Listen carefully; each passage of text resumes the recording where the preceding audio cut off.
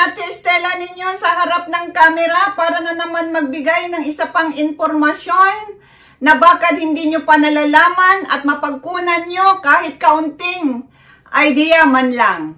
Pero paalala lang po, ang lahat ng mga informasyon na ibibigay ko sa inyo ay pawang mga nasa liksi ko lamang dito sa Japan at uh, hindi po ako nagbibigay kung anumang mga uh, panggagamot, dialysis o mga advices.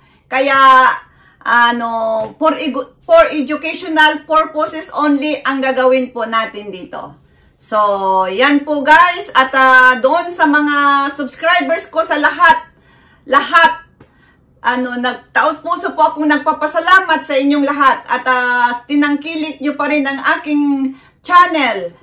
At uh, taos puso kong nagpapasalamat sa inyong lahat. Lalong-lalo na dyan sa Pilipinas na 80% ng aking mga subscribers is uh, from Philippines. Mabuhay po tayong lahat.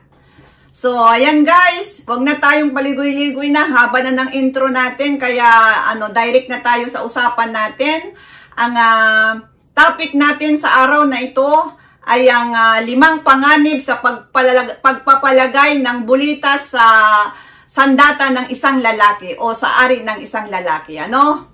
So, yan po yung uh, pag-uusapan natin ngayon dahil parang usong-uso yata dyan sa Pilipinas yung pagpapalagay ng mga ano bulitas sa kanilang mga uh, awag dito sa sandata nila no pero alam nyo guys kahit dito naman sa ano eh sa Japan ano, ano rin yan dito. Uh, boom din yan mga ganon, no? Na magpapalagay ng mga bulitas o yung tinatawag na silicone ball dito sa Japan. Pero yun nga lang, ang tatalakayin natin, bago kayo magpalagay, panoorin nyo muna itong uh, tawag dito, itong tatalakayin ko sa inyo para hindi po kayo mag-alala, no?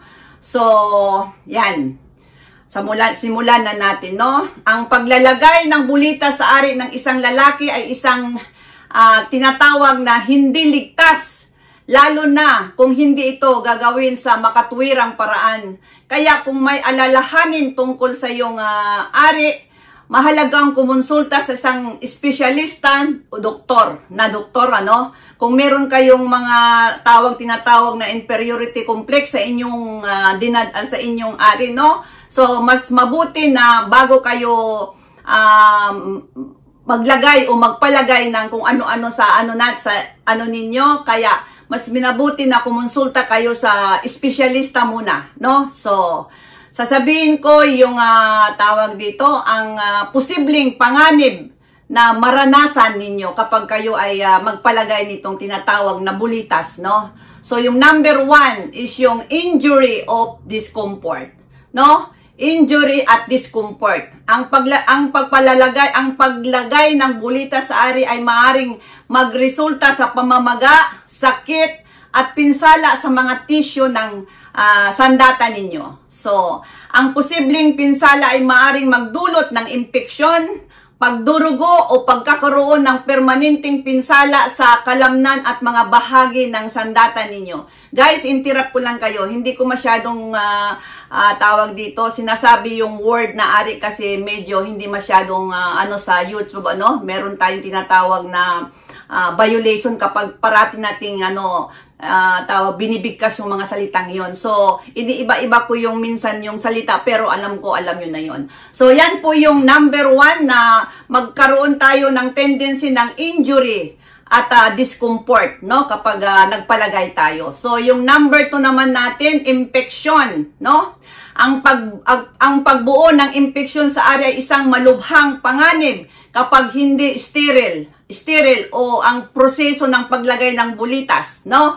Ano bang sterile? Yung mga hindi yung mga ginagamit na mga ano sa para doon sa uh, proseso, baka hindi 'yon sterile, hindi 'yon na uh, uh, tawag dito, hindi hindi nila tawag dito, hindi nila niluto ba yung mga ano-ano yon meron pa yung mga viruses no na ang ginagamit na mga ano doon sa sa proseso sa pag-operation o pag-opera ng sandata ninyo no. So yan po ang ibig sabihin no na ang uh, uh, panganib kung hindi sterile ang uh, pag, uh, pagproseso ng paglalagay ng bulitas. So, ang infection na maaring magresulta ay maaring magdulot ng sakit, pamamaga, pagtaas ng temper- temperatura o lagnat ng katawan. Ayan po yung pangalawang uh, panganib sa paglagay ng uh, bulitas sa ano natin, sa ano ninyo, no? So, yung number 3 naman natin, yung allergic reaction. So, ano naman to, no?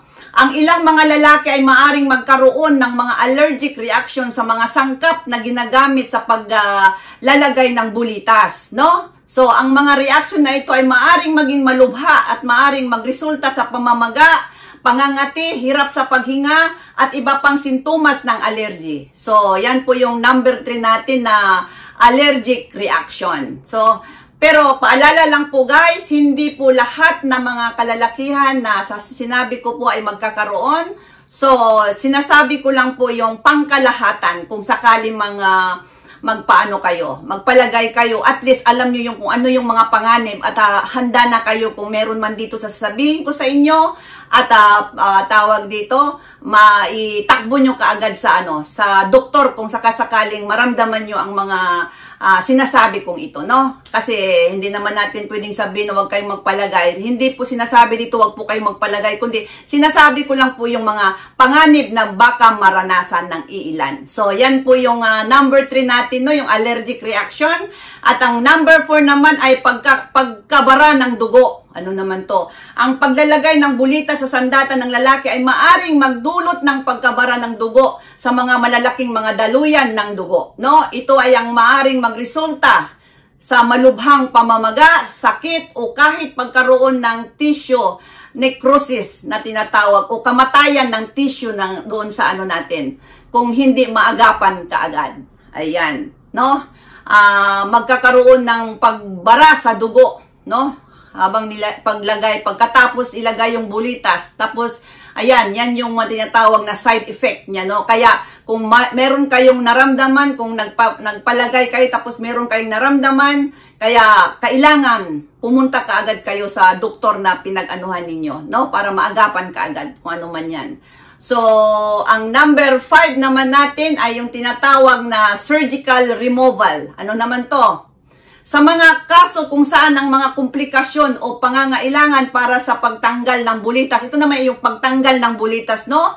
So, maaaring kailangan ng isang operasyon upang alisin ang mga komplikasyon tulad ng impeksyon, uh, sakit o pinsala sa proseso. Ang ibig sabihin po nito, halimbawa, nagpalagay kayo tapos nagkaroon ng kung ano-anong mga uh, tawag uh, allergy reaction ba yan o tawag dito ano tawag dito o yung namamaga o na-infection ba tapos kailanganing tanggalin talaga siya So, ito po yung tinatawag na surgical removal. So, another payment na, na, na naman yan. Babayaran nyo na naman yan. Hindi po yan ibig sabihin dahil uh, nagpalagay kayo, nagbayad kayo, another bayad na naman po yan pag tinanggal kung halimbawa hindi nababagay sa inyo. Kaya nga nagkaroon ng allergic reaction, so ibig sabihin baka hindi hiyang sa inyo. Kaya yan po yung uh, surgical removal na number 5 natin guys. At uh, yan po yung limang panganib na baka maranasan nyo kapag kayo ay nagpalagay ng bulita sa inyong ari. No? So, yan yung number one, injury of discomfort, infection, number two, number three, allergic reactions, number four, pagkabara ng dugo, at ang number five naman natin ay yung tinatawag na surgical removal. Sana nagustuhan nyo guys ang uh, aking uh, vlog ngayon at meron kayong mapagkunan. Alam kong uh, um, marami sa atin yung uh, tawag dito gustong uh, magkaroon ng medyo uh, tawag dito yung tinatawag na uh, pagandahin ang kanilang mga sandata. So ano, wala pong uh, ano dito na wag niyong gawin. Kaya lang sana maging handa tayo sa mga panganib. Kaya sinasabi ko na ito at uh, mag, um, uh, tawag yun, gawin niyo na lang itong uh, parang isang idea na kapag merong ng uh, merong mga uh, pangyayari na hindi maganda sa pagpaano ninyo no sa sa mga prose- prosesong ginawa. Kaya ito po yung mga na- mangyayari na yung number 1, number 2, number 3, number 5. At ah, salamat sa araw na ito. At doon sa hindi pa nakapag-subscribe, mag-subscribe na po kayo at uh, pakiclick na rin ang notification bell para sa susunod kong video, makikita at makikita nyo. Maraming salamat sa araw nito. Arigato gozaimasu. Matane. Bye-bye.